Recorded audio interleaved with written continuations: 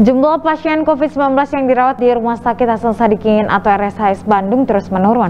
Berdasarkan data RSHS, penurunan jumlah pasien COVID-19 pada awal Agustus dibandingkan Juli 2021 mencapai 53 persen.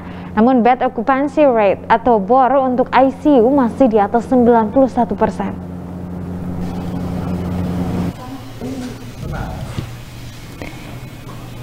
Direktur Perencanaan, Organisasi dan Umum Rumah Sakit Hasan Sadikin Bandung, Dr. Gigi Muhammad Kamaruzaman mengatakan saat ini terjadi penurunan jumlah pasien COVID-19 di RSHS sebesar 53 persen dibandingkan Juli 2021. Keterisian tempat tidur pun menurun menjadi 45,49 persen dibandingkan rata-rata Juli yang mencapai 75,8 persen. Namun menurutnya, bed occupancy rate atau BOR untuk ICU masih di atas 90 hingga 91 persen. Dibandingkan dengan rata-rata bulan Juni-Juli yang lalu, sebanyak 291 pasien yang dilayani dan saat ini hanya 154 pasien saja.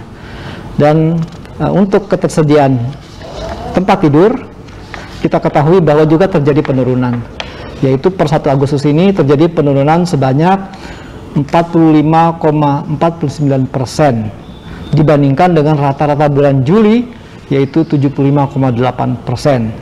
Meskipun BOR rata-rata menurun, namun BOR untuk ICU atau ruangan uh, apa emergency itu masih uh, di atas 90 sampai 91 persen. Dr. Kamaruzaman pun memastikan ketersediaan stok oksigen di RSAS masih mencukupi karena mendapat bantuan dari Kementerian Kesehatan dan LSM. Ketersediaan APD untuk nakes di zona merah hingga obat-obatan pun masih cukup. Dirinya berharap bantuan obat-obatan masih tetap diberikan Dinas Kesehatan, BNPB, dan Kementerian Kesehatan. Kamaruzaman pun berharap masyarakat terus menerapkan protokol kesehatan 5M agar Indonesia hingga dunia terbebas dari wabah COVID-19. Budi Hartati, Bandung TV.